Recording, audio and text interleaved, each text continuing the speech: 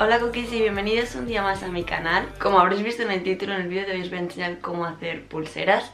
Estas pulseras yo las llevo haciendo toda mi vida desde que era pequeña en los campamentos. Me recuerdan siempre al verano me parece algo súper entretenido para hacer, algo muy guay para regalar, sobre todo porque es algo como muy personal, hecho a mano. Además te lo pasas bien haciéndolo y lo puedes personalizar como quieras. Y este año me ha apetecido volver a recuperar todo esto de las pulseras y he descubierto que se pueden hacer un montón de cosas que yo no sabía que se podían hacer y simplemente hacía pues los, los dibujos más básicos Así que en este vídeo os voy a enseñar cómo hacer, tanto cómo hacer los dibujos básicos, simples, en línea o en diagonal que había hecho yo toda mi vida. Y por otro lado os voy a enseñar cómo he aprendido a hacer estos dibujos un poco más especiales. Y ahora también se han puesto un montón de moda las cosas con bolitas. Yo me compré esta cajita, es que no lo puedo inclinar mucho porque se me van a caer las bolas. Esta cajita en Amazon, ponéis cuentas de colores y es la primera que os sale. Y ya he ido haciendo pues cosas como este collar, esta pulsera, también súper chula. No sé, y además es como mucho más rápido de hacer, así que si también mm, veis que esto es muy complicado o no tenéis tiempo para esto, pues siempre podéis recurrir a las bolitas de colores. Y ahora sí voy a empezar con el vídeo de hoy. Lo primero de todo os voy a enseñar algunos ejemplos de las que ya tengo hechas. La primera pulsera que hice ahora cuando he empezado a recuperar esto ha sido esta pulsera. Es una pulsera en diagonal con solamente tres colores esta es súper fácil de hacer, las pulseras en diagonal.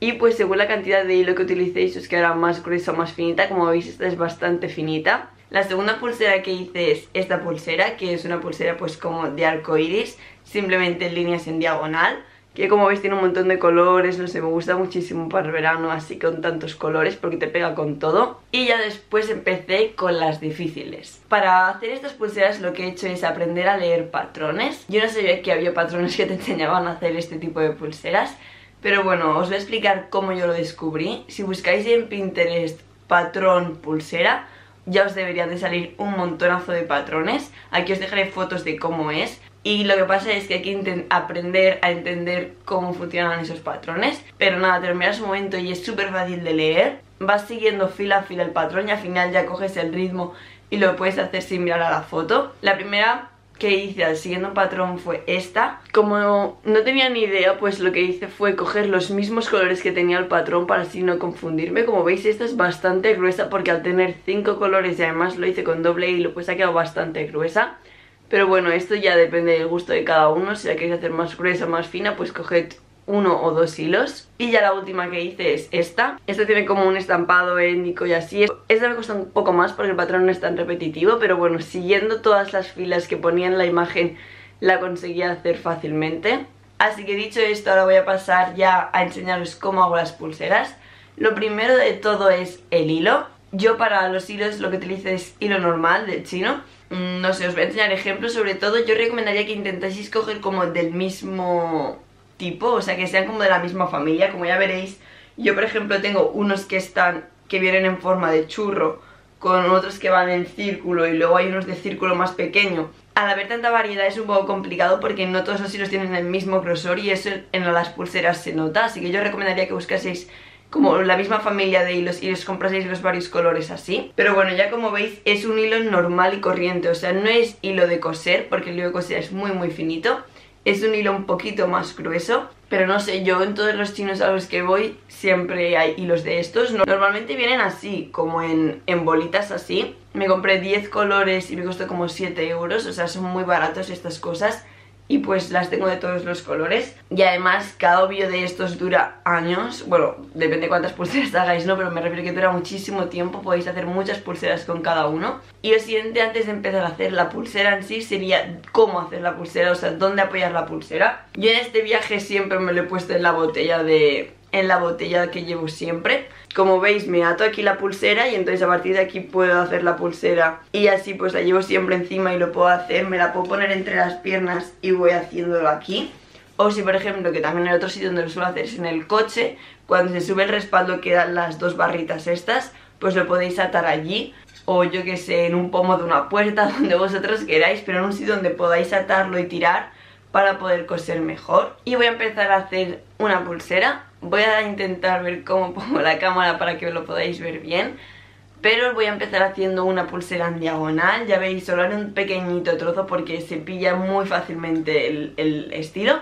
Y luego ya voy a pasar a las pulseras con patrón. No sé cómo va a salir, si va a salir bien del todo porque esto estos colores y esta cantidad de hilos los tengo pensados para hacer otra pulsera que es una de las que son con patrón. Pero bueno, para enseñar el concepto yo creo que se, yo creo que puede servir. Lo más fácil es que os separéis los hilos, os separéis los hilos en tiras según los colores que vais a utilizar. Normalmente este sería pues cada uno de un color y los separéis, en este caso los he puesto como en grupitos de dos hilos para que sea más gruesa y lo que tenéis que hacer es cogéis el primer hilo, el que está como más en la esquina y lo tenéis que poner en esta forma como en una forma de haciendo un 4 y lo pasáis por debajo. Y sobre todo tenéis que tirar del hilo de manera que este circulito quede en la dirección a la que estáis yendo. En este caso como estoy haciendo la diagonal estos irán para allí y estos irán para allá. Y cogéis y estiráis y apretáis bastante porque si no quedarán huecos y se hacen dos vueltas por cada lado. Y ahora pues voy a pasar a hacer lo mismo también para ese lado en con este sobre todo que quede para ese lado este hilo tenso y este lado es el que va a ir apretado hacéis el 4 pasáis por dentro y tiráis de este lado. Y ahora lo dejo aquí en medio y voy a hacer lo mismo por el otro lado. Como veis, el hilo blanco tiene que quedar tenso y este lo estoy llevando hacia el lado de dentro.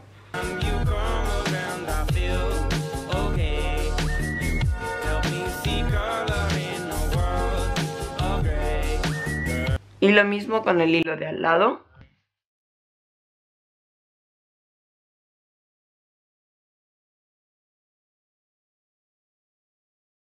y cuando os quedáis con los dos hilos del medio normalmente se coge el hilo de la izquierda y se hace hacia la derecha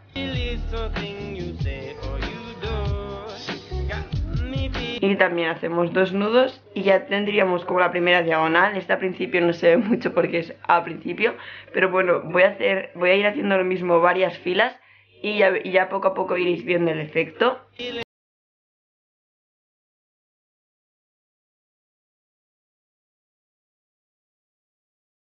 tenéis que empezar desde, el que está más afuera hacia adentro.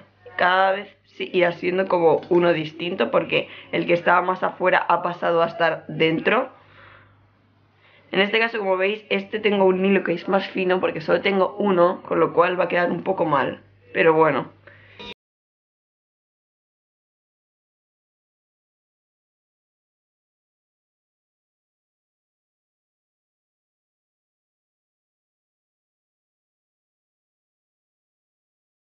forma. Ahora, por ejemplo, ya no lo puedo seguir porque como no lo tenía pensado para esto, pues tengo aquí uno azul y uno blanco, entonces no quedaría bien. Se supone que deberíais tener como simétrico para que después los triángulos quedasen, igual, quedasen iguales. El resultado final sería algo tipo esto. Estas pulseras son súper rápidas de hacer, sobre todo con la práctica pues vais cada vez más rápido. Bueno, y ahora os voy a enseñar la pulsera que voy a hacer. Como estuve en Grecia pues queríamos hacer esta pulsera de, como de recordatorio. En este caso, como veis, es como en un azul oscuro y en amarillo el patrón, pero bueno, yo lo voy a hacer con estos colores. El azul oscuro será el turquesa este y el amarillo será el blanco. Pero lo que os voy a hacer, enseñar es cómo leer estos patrones. Lo que para mí fue más importante fue entender que cada línea de estas es una fila. Con lo cual primero tenéis que ver cuántos hilos necesitáis de cada. Como veis hay 1, 2, 3, 4, 5, 6 de color azul y 1, 2, 3, 4, 5 de color amarillo y como veis tienen unas flechitas que marcan los nudos en cada una de las filas. Con lo cual por ejemplo la primera fila como vemos el segundo hilo se ata yendo hacia ese lado con el primer hilo, el, el, cuarto con el tercero y el sexto con el quinto. Y como veis en este caso el primero de los amarillos se ata el nudo eh, llevándolo para ese lado con el siguiente blanco. Y así pues vais viendo y vais haciendo cada fila. Como veis por ejemplo el primero este que haría suelto. Si no tiene la bolita quiere decir que no se ata. Entonces pasaríamos a la siguiente ronda y vais haciendo como por ejemplo para saber si estáis haciéndolo bien pues en este caso sería que el hilo amarillo se queda tenso con el hilo azul atado hacia ese lado. En este caso, por ejemplo, son 10 filas, eso quiere decir que cada 10 filas se vuelve a repetir el patrón, con lo cual una vez, si ya has pillado la primera vez el patrón, pues la segunda será volver a empezar otra vez como si fuese la fila número 1. Me guardo aquí el patrón para poder ir viéndolo y como vemos pues me dice que primero ponga los hilos azules. Una vez ya he colocado como todos los hilos extendidos, en este caso he puesto los azules de un lado y los blancos del otro, voy a empezar con la primera fila. Como veíamos en la imagen lo que hace es coger el segundo hilo y lo ata con flecha hacia ese lado para el primero, con lo cual cojo el segundo hilo, le hago la vuelta y me la llevo hacia ese lado. Y siempre, siempre hay que hacer dos vueltas.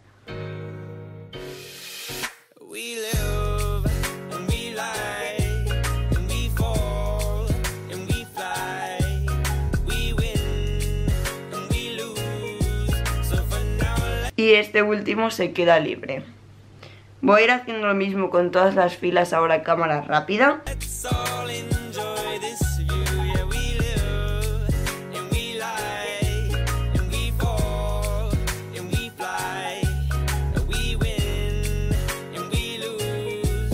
Vale, como veis, esto es como queda cuando he hecho la prim... O sea, una vez el patrón, 10 filas. No ve mucho porque de momento es como bastante poco, pero bueno, voy a hacer un par o tres más y así veréis cómo quedaría el resultado realmente. Bueno, yo creo que con dos ya se ve bastante bien, como veis aquí están como las dos olitas. Así que sería simplemente pues ir siguiendo esto toda la longitud que queráis. Así que bueno, eso sería como hacer una siguiendo un patrón. Como veis parece que sea difícil, pero realmente una vez has pillado cómo se hacen los nudos y el concepto es súper fácil. Simplemente es ir siguiendo línea, línea, línea. Os voy a enseñar por ejemplo cómo yo lo busco. Simplemente entro en mi Pinterest, que os dejaré por cierto el link debajo de la descripción porque tengo una carpeta donde pone pulseras y allí pues veréis todas las que yo me he guardado y así. Y simplemente con que pongáis pulseras patrón, o bueno, yo lo suelo poner en inglés porque así salen más cosas, bracelet patterns, y como veréis salen como muchísimos patrones. Os voy a enseñar algunos, pero por ejemplo hay algunos como mucho más complicados, como por ejemplo este. Este por ejemplo es como mucho más complicado, pero ya veis, pues este sería el patrón, entonces esto es lo que se va repitiendo. Y lo mismo, siempre es como el mismo concepto, te lo explican fila por fila y arriba te enseña cómo sería el resultado final. No sé, se pueden hacer cosas súper chungas. Hay de todo tipo, no sé, algunas son más fáciles, otras más difíciles. Podríais empezar como con unas más sencillitas, como estas, por ejemplo, que tienen menos hilos y después podríais hacer algunas ya como mucho más complicadas, como este que tiene unas tortuguitas. No sé, hay algunos que son súper chulos. Por ejemplo, como veis, esta es la pulsera que yo sí que tengo hecha. Pero bueno, está claro que cuantos más hilos y más complicado sea el patrón, más tardaréis. Pero bueno, yo suelo tardar como un par o tres de días, depende de lo que cuánto rato le dediques. Igual para hacer una sencillita la puedes hacer en media hora perfectamente. Pero bueno, hasta aquí el vídeo de hoy. Espero que os haya gustado mucho y que os haya sido útil. Si queréis ver más vídeos de este tipo, acordaos de darle a me gusta y suscribiros aquí debajo en mi canal. Y nos vemos en el próximo vídeo.